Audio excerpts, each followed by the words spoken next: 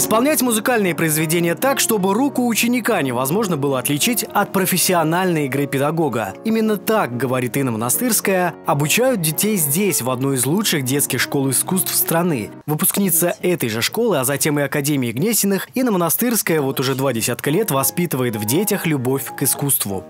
Э, сейчас, конечно, это не очень просто э, в силу такого э, шага вперед индустрии развлечений, поэтому на занятия музыки особенно нужно очень много времени свободного, а, потому что это не просто выучить стих да, или какие-то точные науки, где ты просто должен четко знать определенные правила. Это все-таки борьба внутри себя, творческое развитие личности, своих физических данных, а на это требуется время.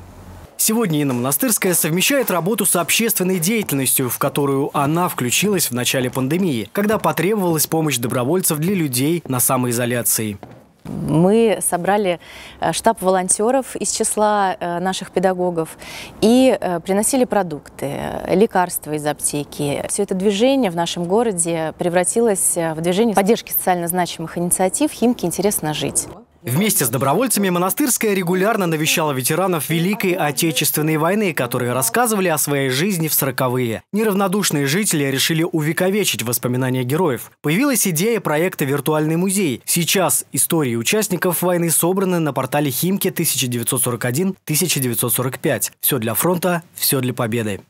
На этом ее работа в качестве активиста не закончилась. Когда пандемия отступила, в рамках движения общественной поддержки социально значимых инициатив Инна Монастырская встречалась с трудовыми коллективами ведущих химкинских предприятий, сотрудники которых выступали с различными предложениями по улучшению города. Например, с идеей превращения старой библиотеки на улице Калинина в современный библиохолл. Жители предлагают провести ремонт и вдохнуть новую жизнь в эту библиотеку, а, поделить пространство на несколько тематических зон для того, того, чтобы э, химчане разного возраста э, могли приходить и, не мешая друг друга, проводить время, э, занимаясь абсолютно разными интересными направлениями.